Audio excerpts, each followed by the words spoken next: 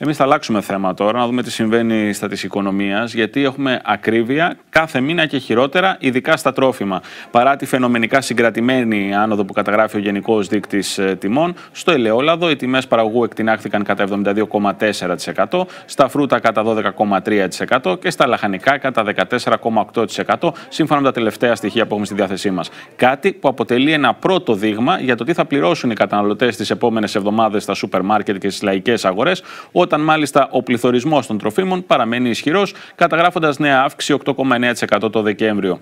Υπάρχουν από πολίτες, από καταναλωτές καταγγελίες για λάθος τιμές στα ράφια, προσφορές ακριβότερες από την αρχική τιμή, αλλά και ίδια προϊόντα, που, ίδια ακριβώς προϊόντα που έχουν διαφορετική τιμή από ράφι σε ράφι.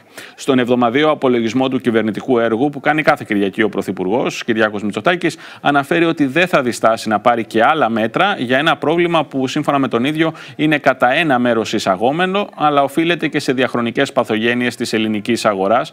Ε, θα χρειαστούν σίγουρα περισσότερα μέτρα. Εμείς για να το δούμε αν είναι όντως έτσι, να συνδεθούμε ζωντανά με τον πρόεδρο του Ινστιτούτου Καταναλωτών της Ομοσπονδίας Καταναλωτών Ελλάδος, τον κύριο Γιώργο Λεχουρίτη. Πρόεδρε, καλησπέρα.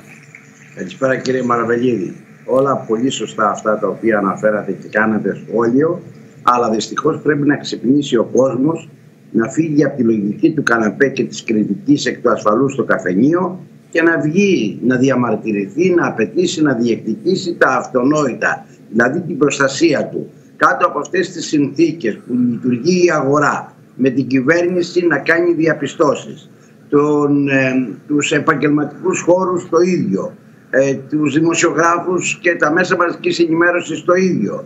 Εμάς τις οργανώσεις καταναλωτών να διαμαρτυρόμαστε με τους καταναλωτές ότι δεν μπορεί να συνεχιστεί άλλο αυτό το τσουνάμι της ακρίβειας που ταλανίζει τα ελληνικά νοικοκυριά και έρχεται η κυβέρνηση διαστόματος πρωθυπουργού τη μία να λέει ότι ναι θα επιβληθούν κυρώσεις και θα επιβάλλουμε πρόστιμα την άλλη λέει η ακρίβεια ε, είναι εισαγόμενη, την άλλη λέει η ακρίβεια είναι ελληνική. Τελικά εκείνο το οποίο είναι το ζητούμενο, ότι η ακρίβεια είναι η ακρίβεια, την πληρώνει ο κόσμος πηγαίνοντας στα σούπερ μάρκετ με τα διάφορα κόλπα και τερτύπια, άλλοι τη μισθοράφη και άλλοι στο ταμείο. Και τα δύο μπορεί να είναι αληθινά, έτσι. Μπορεί η ακρίβεια να είναι εισαγόμενη, γιατί υπάρχουν πράγματα στην παγκόσμια διασυνδεδεμένη οικονομία που όντως μας επηρεάζουν, αλλά είναι και εγχώρια, γιατί έχουμε και, αν θέλουμε να το πούμε έτσι, τον πληθωρισμό της ε, απληστίας, αλλά έχουμε και μια τεράστια, ένα τεράστιο κομμάτι της ακρίβειας, ένα μεγάλο κομμάτι των τιμών που οφείλονται στη μεγάλη φορολογία, στο 24% του φόρου προστιθέμενης αξίας.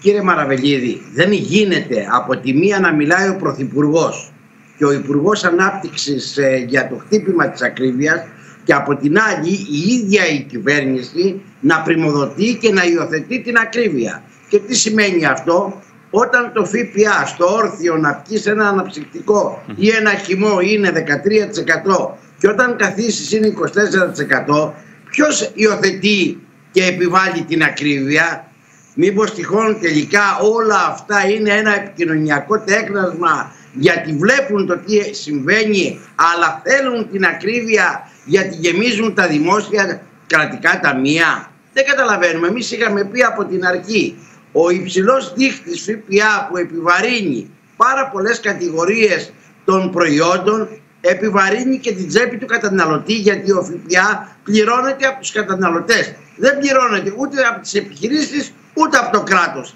Έλεος λοιπόν με αυτή την κοροϊδία και την καθημερινότητα ότι θα χτυπήσουμε την ακρίβεια, θα επιβάλλουμε πρόστιμα πάρα πολύ υψηλά και ούτε πάει λέγοντας. Ο καταναλωτής ποιο είναι το όφελος; Μας είπε ο κύριος Κρέκας στα τέσσερα μέτρα.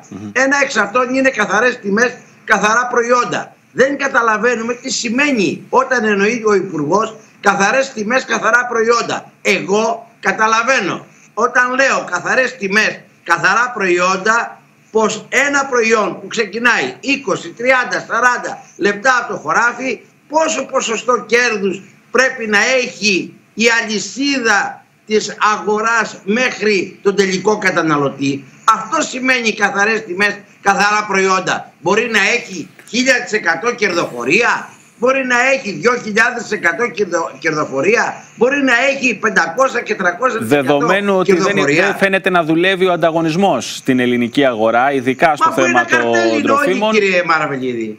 Ένα καρτέλ είναι η αγορά. Είτε στα καύσιμα, είτε στα τρόφιμα, είτε στην ενέργεια, ένα καρτέλ είναι.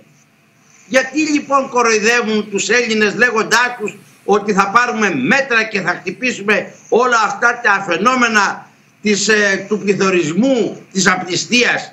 Γιατί δεν το ξέρει η κυβέρνηση εδώ και τόσα χρόνια από το 2020, από το Σεπτέμβριο του 20 ότι υπάρχει ο πληθωρισμός της απληστίας. Όταν φωνάζαμε εμείς στο ΣΥΝΚΑ και τα έχουμε πει πολλές φορές πως υπάρχει ακρίβεια, υπάρχει εσχροκέρδεια, υπάρχει κερδοσκοπία Μας έλεγε ο τέο Υπουργός Ανάπτυξης ότι μην είμαστε μίζεροι που είδατε ακρίβεια, σκροκέρδια και κερδοσκοπία. Όλα αυτά κύριε Μαραβελίδη είναι παιχνίδια επικοινωνιακού χαρακτήρα. Η ουσία είναι ότι αν πάρουμε το πόσο μεγαλύτερες είναι οι αυξήσεις στην Ελλάδα σε πάρα πολλά πράγματα, ειδικά στα τρόφιμα σε σχέση με άλλες χώρες της Ευρώπης, και πόσο είναι το πραγματικό εισόδημα του μέσου Έλληνα σε σχέση με άλλες χώρες της Ευρώπης, ο Έλληνας καταναλωτής αυτή τη στιγμή έχει τη χειρότερη, τη μικρότερη αγοραστική δύναμη σε, όλες, σε όλη την Ευρώπη. Αυτό είναι η ουσία.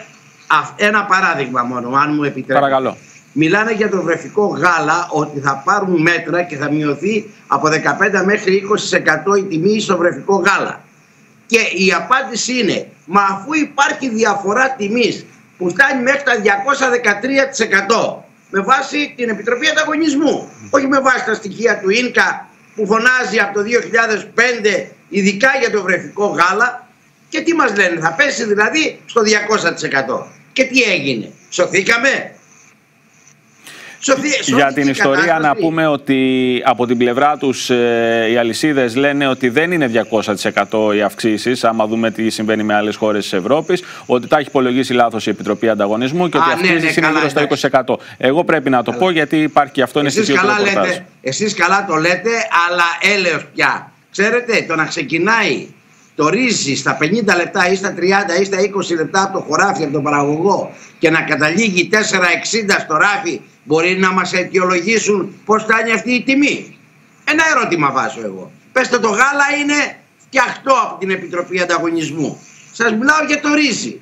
Πόσο είναι το σιτάρι, 16 λεπτά το πουλάει ο παραγωγός και φτάνει στον καταναλωτή το αλεύρι 1,5 και 2 ευρώ το κιλό. Μπορούν να μας εξηγήσουν γιατί αυτοί, αυτές οι μεγάλες διαφορές του 1000% κερδοφορία; Αν μας το εξηγήσουν εδώ και πόσοι μεσάζοντες χρειάζονται πια για να φτάσει αυτό το ρύζι στο ράφι; Μα αυτό είναι το ζητούμενο. Πόσοι δηλαδή πρέπει να ακολουθήσουν στην πορεία της, του δρόμου του ρυζιού για να καταλήξει στο ράφι σε αυτό το επίπεδο τιμής; Πόσοι πρέπει να μεσολαβήσουν; Ένας, δύο, τρεις, πέντε; Πόσοι πρέπει; Και κάθε ένας πρέπει να, να κερδίζει 100% για να φτάσει δηλαδή από τα 50 λεπτά στα 4,60 το κιλό το ρύζι. Πρόεδρε, είναι πάρα πολλά. Είναι και αυτά που λέγαμε με τις ε, προσφορές που στην ουσία είναι προσφορές μαϊμού. Γιατί σου, σου, λένε ότι το ένα προϊόν έχει τόσο, αν πάρεις δύο μαζί είναι δύο συν ένα δώρο. Αλλά αν δεις τις τιμές, το κάθε ένα από αυτά τα δύο συν ένα δώρο στο πουλάει ακριβότερα σχεδόν για να καλύψει και την τιμή του τρίτου. Οπότε δεν είναι δύο συν ένα δώρο, είναι πληρώνεις σχεδόν τρία και παίρνεις τρία. Έχω, έχω στείλει κατ' επανάληψη στο γραφείο του Υπουργού του κ. Σκρέκα τέτοιες περιπτώσεις αρκετές. Δηλαδή μία περίπτωση 2 συν 1, 2,44. Το ένα μόνο του 0,97. Τα δύο δηλαδή 2,94.